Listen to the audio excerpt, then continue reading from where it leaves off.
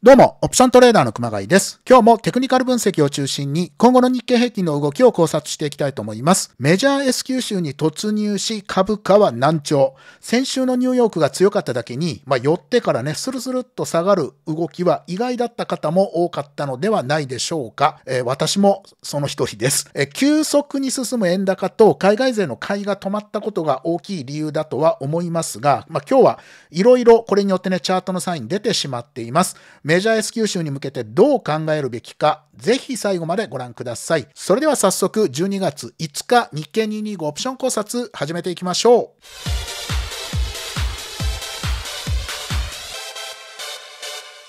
はい。それでは12月4日の相場概況からです。日経平均33,231円、200円安、マイナス0.60%。トピックス2362.65、マイナス19.87でマイナス0.83%。グロースが713.40、プラス12.65でプラス1.81%。まあ今日はグロースだけ強かったですね。で、売買代金がプライム3兆3211億円、スタンダード1341億円、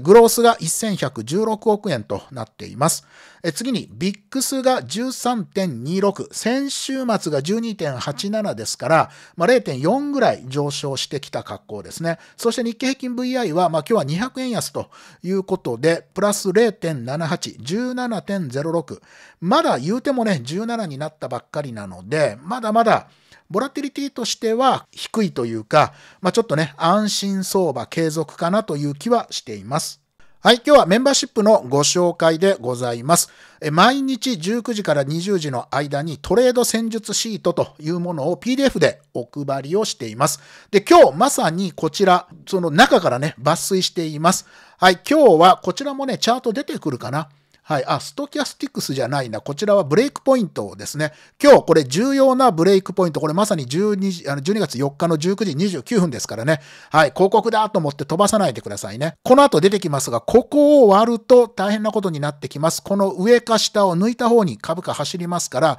いよいよあと50円ぐらいまで来てますので、要注意かなという気がしています。はい。で、えっと、ここもね、あのまだ更新忘れてたんですが、え今年の動画ね、一覧で見れるようなこう、エクセルの表もあります。これメンバーの方にね、全員お配りしています。もう8、えっと、80時間分ぐらい動画があるので、えどれから見たらいいのか、どのチャートを作りたいのか、まあ、ここを見ていただいてですね、見たい動画から、え見ていただけるようなエクセルシートも作っております。もう本当にね、たくさん動画があるので、ぜひね、これメンバーシップに入って、皆さんトレーディングビューで作ってみてください。ほぼほぼ、インジケーターをね、3つしか表示させない、3つ以上使ってるチャートってあんまりないので、無料の方でもほぼほぼ全部作れると思います。ぜひ参加して、まあ、チャートをね、読めるようになって、それぞれの皆さんのトレードにお役に立てていただければと思っております。概要欄にメンバーシップのご紹介のリンク貼ってますので、ぜひね、チャレンジしてみてください。はい。それではチャートの方から見ていきたいと思いますけれども、まず日経平均の現物です。まあ、下髭をつけて、これまあ33,100円のところと850円のところ、まあこのレンジだよねっていうところを、まあ一旦は割って、今日先物の安値、あ、これ現物か。現物の安値が33,023円。確か先物が33,010円かな。朝方一気にね、下落して、まあそっから220円ぐらい戻ったんですけど、で、今日の終値も231円ですよね。ただ、ナイトに入って、また3万3000今、えっと、収録してるのが22時過ぎですけれども、まあ、3万3050円ぐらいかな。はい。まあ、まあ、少しまたちょっと弱含んできてるという状況になってます。モメンタムもゼロラインで、まあ、これも本当に今、レンジのままですね。で、S q まで、まあ、どっかで上がるか下がるかって言い続けたら結局2週間以上動いていないと。このまんま行くのか、まあ、まさに魔の水曜日、あたりに上か下にどっちかに大きく動くのか。まあなんかね、もう動かないんじゃないのと思った時に動くので、なかなか厄介ですが、まあこうなってくるとこの後出てきますがね、あのバンドなんかも縮まってくるので注意が必要になってきます。そして先物がさっきお話をしたように21時18分現在33,020円ですね。で、こっからちょっと戻ってですね、今はこれ十字線みたいになってますね。ただ、まあまあ、終値から見ると少し下げて、また3万3000、この大きな節目の攻防になってます。そしてえっと、25日線ですね、これがもう下からせり上がってきていて、ここの攻防になるかもしれないというところを注意したいと思います。え引き続き先物になって1日進んでも、まあ、大体あんまり変わらないので、モメンタムがじりじりとマイナス圏になってると、つまり上はかなり重い、まあ、むしろストンともうよく耐えてるなという状況になりつつあります。そして今日、先物、それから現物の足もそうなんですけど、下落の 5MA クロスになりました。4日の足でね。まあ、残念ながら、この上で踏ん張ってたんですけれども、まあ、スルスルっと下がってね、上今日、あの、ザラバ、日中切り返せなかったので、まあ、結局5日線下向きになって、ローソク足が上から下抜いてますから、下落の 5MA クロスですね。これ、アルンオシレーターですけれども、もうずっと天井サインついて、一回ショートして騙しで決済してもう一回売り直しというサインがついています。で、現状まあね、本当にまだ4時間5時間しか経ってませんが、まあ一旦うまくいってるんですけれども、これこのままでずるずるっと下がりそうな今サインになってます。下落の 5MA クロスですから、これ以外にもストキャスティクス、それからスクイズモメンタムですね。はい、この3つが同時にショートのサインを点灯しています。はい。で、もう一つ、こちら、新型 MacD ですね。新型 MacD も、11月の18、19あたりから引転して、まあ、その間株価上がったり下がったりして、引転なんですけどね。まあ、あの、上に突き抜けもしないけれども、なかなか下がってこないところで、今日、ここ270なんですね。これ、あの、新型 MacD の MacD の値と、それからオレンジがシグナルです。で、これはあの、カブラボの方のメンバーシップでお話をしてるんですが、270をシグナルが割ってくると、まあ、この威力が弱まってくるんですね。今までこれ引転してるんですけど、非常に高いところに新型 MacD の値ありましたから、まあ、こういう時なかなか下がらなかったりするんですけれども、まあ、残念ながらもう270というね、まあ、これは私が設定してる式位置ですけど、これを下抜けてきてます。そうすると、この引転が効果を発揮するというかね、あの、もうそのままずるっといくというのは、新型 MacD からも今日270をインデ、えっと、インデックスじゃない、えっと、シグナルがね、移動平均線が下抜いてきたので、まあ、いよいよちょっと上値が重いどころか、下にストンといきそうな形、新型 MacD も次元しています。はい。で、こちらはボリンジャーバンドですね。ボリンジャーバンドプラス2シグマから崩れてきてるので、いずれゼロラインまで行くよ。これはね、カブラボで今日お話をしています。まあ、いつも更新している無料の動画の方ですね。なので、概要欄にリンク貼っときます。割と自分で言うのもなんですが、いいこと言ってると、当たるかどうか別ですけど、いいこと言ってると思うので、ボリンジャーバンドの見方を解説しているので、まさに今の相場ということで、これね、チェックしてみてください。で、もう一つ、こちらはですね、パラボリックオシレーターというチャート、30分足ではなくて、日足にしたところ、え、これも4日のラインで、このイン、陰転ですね。はい。ドットがついて、これ売りなんですね。で、これはまさに、えっと、昨日かな？12月3日に出したメンバーシップ、こちらはオプラボのメンバーシップですけれども、えここでまさに解説をしておりました。まあ、サインつくんじゃないかなと思ったので、え12月3日の回にこっちを持ってきたんですが、まさにパラボリックオシレーター、インテンしてきてますから、えここでコール売りなんですね。はい。まあ、これ、ここでご紹介してます。私も売りました。はい。えっ、と、35,500円かな。46円、7円ぐらいで売れたと思うんですけど、で、今のところ42円ぐらいかな。まあ、まあ、まあ、もちろん、すぐ上がれば関係ないんで、なんですけど、まあ、一応ルール通りね、はい。私はここ、もうポジション持ってます。こちら、さっきね、ご紹介したメンバーシップでチェックしてみてください。そして、ここが GMMA オシレーターも今日、これもね、メンバーシップの PDF で、あの、今日19時半ぐらいに、あの、お出ししてるんですけど、現時点で21時45分現在ね、ここが、オレンジが GMMA の移動平均、シグナルです。で、ここ自体がね、えっと、GMMA の値なんですけど、オシレーターの値なんですが、これがデッドクロスしてきていて、そうするとこれ水色なんですね。ゴールデンクロスしてる間は、えっと、赤色、陽線で上昇トレンド、これ中期、一番早い中期チャートですから、中期上昇だったんですね。まあもちろんここ長期上昇でもあるんですけど、中期目線で上昇だったものが、一番早い GMMA がこれ現状の33,050円というとこですけど、この辺うろうろされると、もう今日から引転してくるんですね。これもえっと、終値で判定しますから、もう、えっと、12月の5日の足になってるので、12月5日の15時15分に確定して、水色だったらいよいよ中期、え下落トレンドになると。つまり、今までは中長期上昇の中の押し目っていう見方だったんですけど、まず一つ中期が崩れてきましたから、もしかしたらね、ちょっと短い期間かもしれないけれども、腰の入った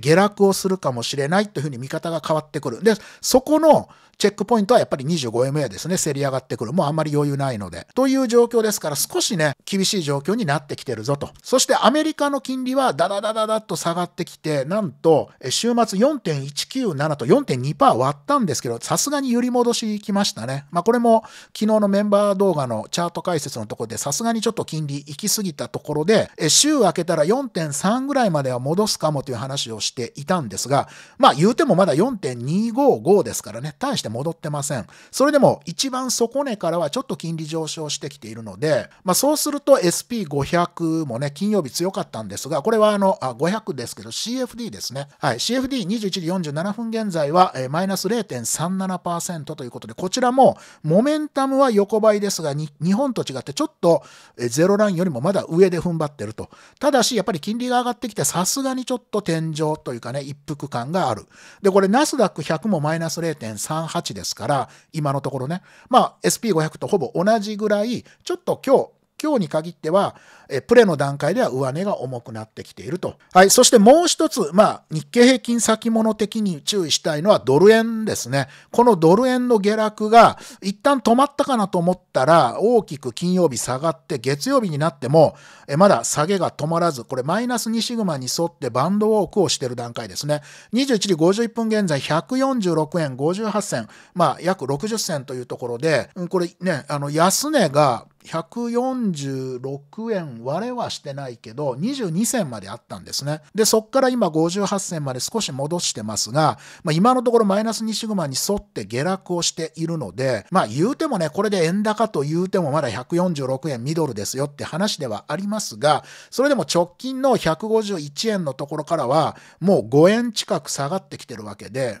そうなると、まあさすがに日経平均的には少し上値が重くなってきていて、まあこれもね、S q 州になんか下げた分勝ち上げるのかなと思ったらなかなかそうならないあの要因。でこの辺りで海外勢が今ね先物も現物も含めて、まあ、一気に買いが止まってますからなかなかね上抜けていけないですよね。むしろちょっと上がったところで売りに押されてるという状況なんでこれドル円がどこまで行くのかまあさすがに一旦は145円ミドルぐらいで、あと1円も下がれば、一旦は止まるんじゃないかという感覚ではいますけど、こういう感覚はよく分かりませんからね、どこまで行くかわからないので、まあここが少し鍵かなと。で、今日ヘッドライン、これブルームバーグですけど、ヘッジファンドの円ショートが19ヶ月ぶりに高水準、円高継続に懐疑的ということで、あの、急速にですね、売っていた、まあ、円を買い戻してるのかと思いきや、ヘッジファンドはまたショートが積み上がってきてると。いうことですね。ヘッジファンドは最近の円高が長続きしないとの思惑から、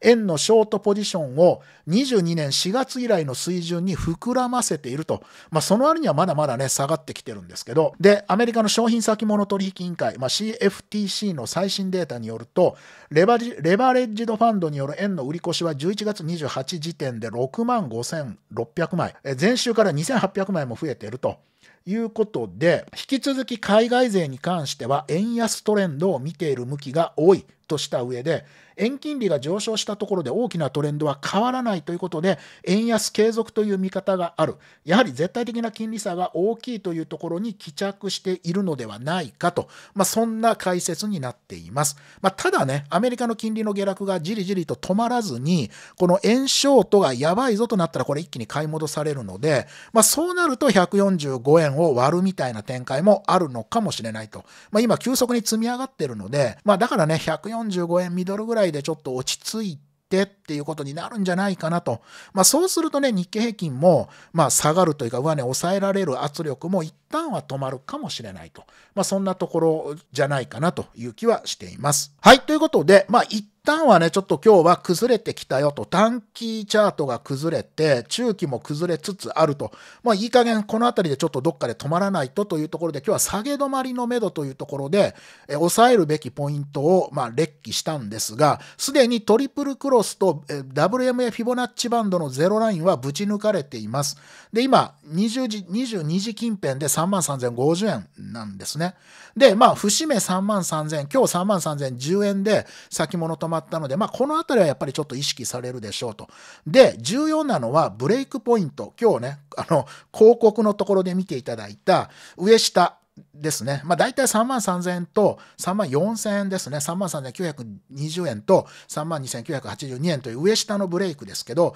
今下のブレイクに近づいてますから、ここを割り込むと一気に走る可能性が高いです。で、そのすぐ下に 25MA があって、今日、ボリンジャーバンドのとこでね、カブラボでお話をしたように、いずれ 25MA は、えっと、目指します。だから、もう直近だと32,800円だし、まだまだこれ1日30円ずつぐらいじりじり上がってくるので、もしかしたら3万3000円ぐらいで 25MA とぶつかるかもしれない。ちょうどそれが S q はね、ちょっとあと、3日ぐらいでしょ、うん、ギリギリ S q では届かないかもしれない。3万、えっと、2920円ぐらいで、あの、S q 日になるかもしれませんが、25MA がね。でも大体この辺で競り上がってきた 25MA と一旦ぶつかるとなると、これ S q は3万3000円近辺のバトル。まあ、もしくは3万3000円から3万3500円かなと。ただね、これ、えっと、ブレイクポイント割って下げが止まらないっていうスピード感になると、これ 25MA 簡単にぶち抜かれると思うので、まあそうなるとね、S 級バトルが32,500円。とかになるかもしれない。で、今のところね、3万3000よりも上の S q 値ないんですよね。今年も6ヶ月連続3万2000円台で3万2900いくらが S q 値の今高値ですからね。だから、まあ本当に12月切り最後の最後で3万3000円よりも上の S q 値になるかどうかっていうのも今回はね非常に注目ですから、まあ、それも含めて3万3000円よりも上で決着できるのかいやいやこのブレイクポイントを割って結局3万2000円後半の S q 値になるのか、まあ、これも24年に向けて一つ重要なチェックポイントかなと思っています。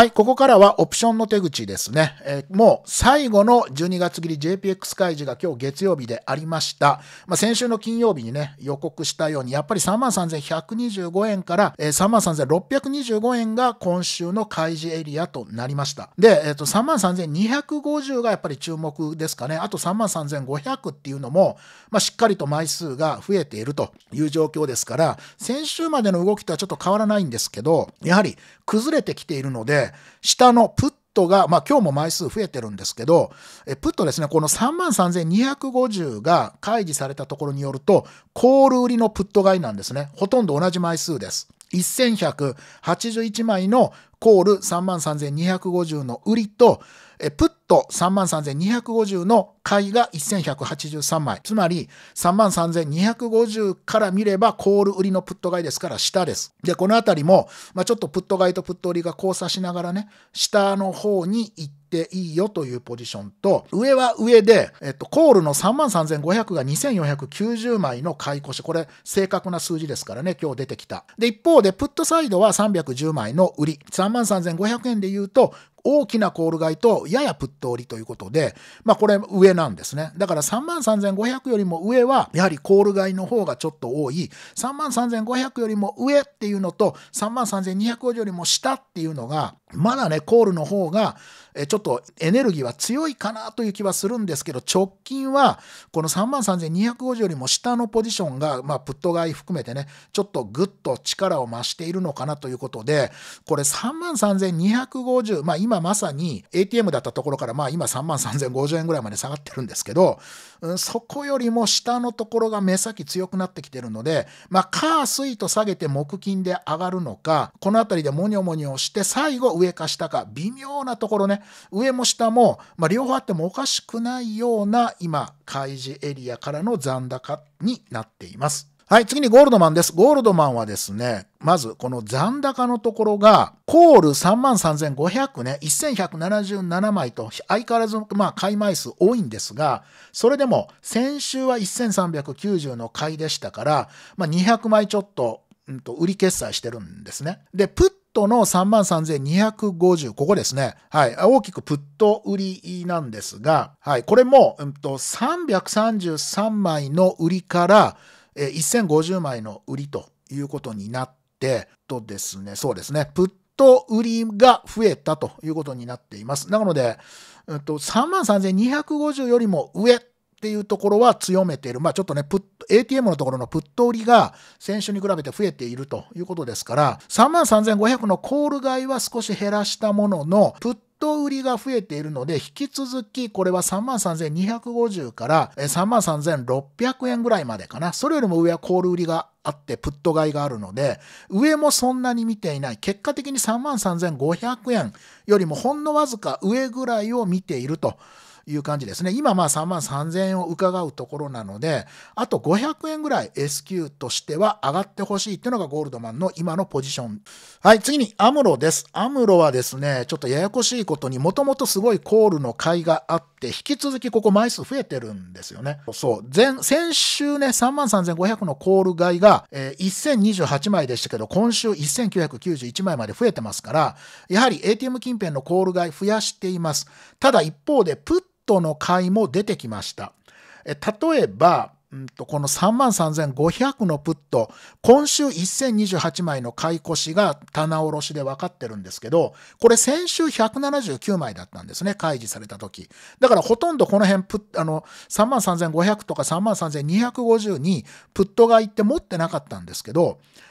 まあ、ここはね、開示で出た部分ではありますが、今週。ただ、33,500近辺のプット買いも一気に増やしてきたというのが、まあ、先週後半からの動きかなという気がします。ですから、まあ、買いの枚数で言うと、まだまだね、コール買い、まあ、上プット売りもね、先週やってるんで、まあ、残ってるかどうか知りませんが、はい。ですから、まあ、基本的にはまだ33,500よりも上の方が強いんですが、一方で33,500より下も結構プット買いを入れて、まあ今日この辺り売り買いね、どっちに比重傾けたのかがちょっとわかんないんですが、思った以上にプット買いも増やしてきてるので、33,500を軸に上か下、まだ上の方がおそらくパワーとしては強いんですけど、これもしかしたら S q ね、33,500よりも下になることを見越してのちょっとプット買いも入れてきてですね、まあ、33,500からどっちかに動いてほしいという状況にして、まあ、今あんまり株価が上にも下にも動いてないんですけど、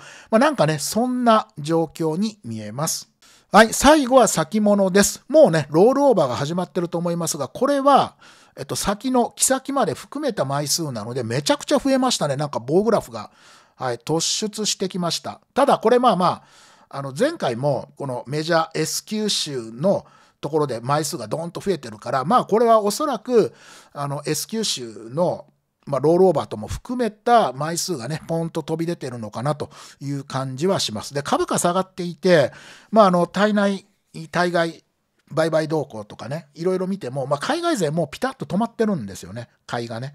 はい、原先ともに。なので、まあ、これはあの S q 州なので、ちょっとこう、ボーンとね、増えた形になってると思いますが、実際は今、海外勢はそこまで買い越してきていないかなと先物も現物もね。だからまあどうしても上値が重いまま今 S q 州になってると。だからこれまあ仮に上行ってもですね、まあ上行ったらすぐ売られるし、下行ったら買われるしみたいなとこで、うん、もしかしたらね、ちょっと上のフェーズ、上のターンの人と下のターンの人が、まあお互いね、出来レースみたいにやり合って利益を上げてるような動きになる気がして、だからちょっと月火もしね、下含んで下げたんだったら水木で、戻すかもしれないので、ちょっとね、目先下がったとて、あ、こっから下がるぞっていう形で強気にショート入れると、まあ、S q 直前にね、一気にこう跳ね上げられられるっていう感じもしなくもないので、まあ、いずれにしてもね、方向感がないまま上値は重くなってきてますから、まあだからね、ちょっと私は、あの、あまりビビらなくてもいい、コール売りから、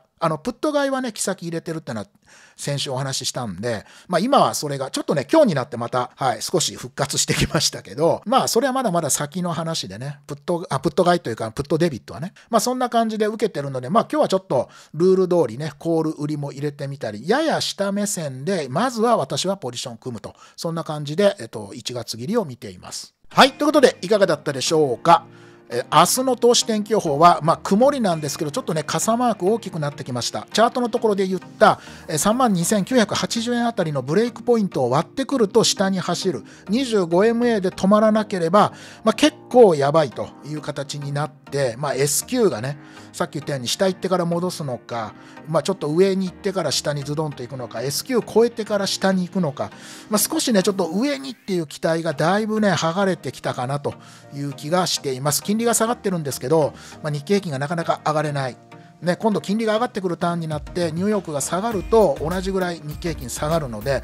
いずれにしてもちょっと上値が重い展開になってきたかなそんな感じで1月切りのポジションを入れ始めています。はいということで今日の動画も役に立ったぞ。そしてこのチャンネル応援してもいいよという方はチャンネル登録とグッドボタンの方ぜぜひポチッとよろしくお願いいたします。いつも見ていただいて本当にありがとうございます。それではまた次回の動画でお会いしましょう。またね。